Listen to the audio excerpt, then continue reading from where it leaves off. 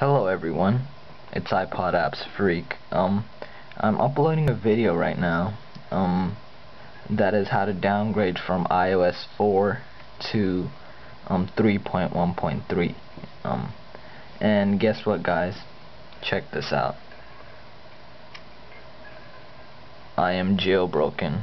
Cydia install this Winterboard. And so I'm gonna teach you today um, this is a Cydia tutorial. I'm going to teach you how to get this nice little reflective dock that they have in iOS 4. And um, let me show you a little demo right now.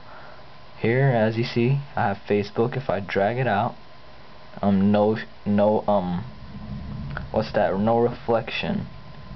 And now if I drag it back in, as you see the reflection down there, those that's some nice reflection. Um, I have the iOS 4 theme um, which is never end multitasking uh, from ProSwitcher as you see. So first what you want to do is you want to open up Cydia.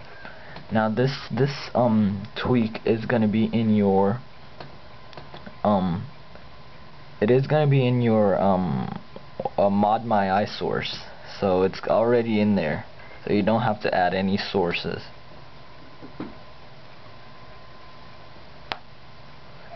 Come on. Wow, Cydia is so slow.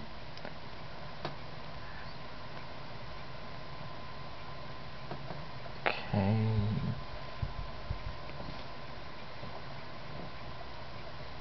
Okay, we'll just hit cancel up there. Okay, so let's wait for Cydia to load here.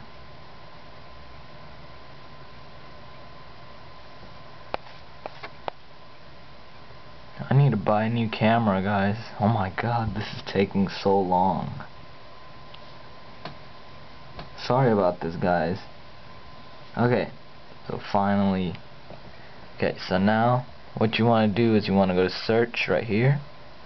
And you want to search reflective dock. So, come on. Okay, R E F L E C T just type in reflect and it should come up from the ModMyi source. Click it install and you're done. So then um it's gonna be down there. So you can do some settings with it but it's gonna be down there. So if you go to settings a reflective dock. And we can do app icons. That looks very gay um. And you can do a whole bunch of settings donate. Which we should donate but um anyways guys that's about it. A, a little short quick tutorial on how to um get the nice reflective dock that they have in iOS 4 so um thanks for watching. Um rate comment subscribe. And peace